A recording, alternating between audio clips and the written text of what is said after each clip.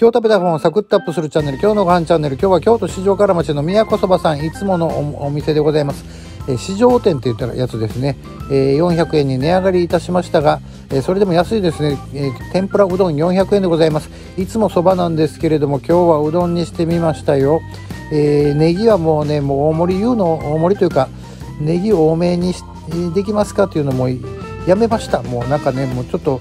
えーまあ、このどんどんいろんなものが値上がりしていく中なんかただでこうネギをたくさんもらおうと思うというのがちょっと心苦しくなってまいりまして、えー、といてまた、えーと、ネギがどうしても欲しくなったらあの言うかもしれませんがでおうどんなんですがあの茹で方なのか何なのか、えー、ちょっと固めの感じ固めというか、まあ、コシがあるっていうことじゃないんですけども、えーまあまあこういう感じだったなというのを非常に思い出した、えっと、うどんなんですけど割と太かったんですねここのねおうどんね。えー、ということで なんか美味しいみたいな演技してる感じがもうなんか嫌な感じでございますがすいません。えー、というところで宮古そばさん美味しかったでございます。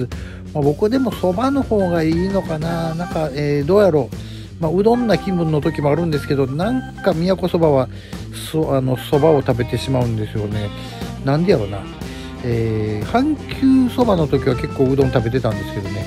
なんかあのイメージでしょうか。というところで今日食べたご飯をサクッとアップするチャンネル。今日のご飯チャンネルチャンネル登録よろしければこちらでお願いします。毎朝7時にアップしております。いいねいただけるとありがたいのでポチッと押しといてくださいませ。それではまた明日朝7時にお会いいたしましょう。本日もご覧いただきありがとうございました。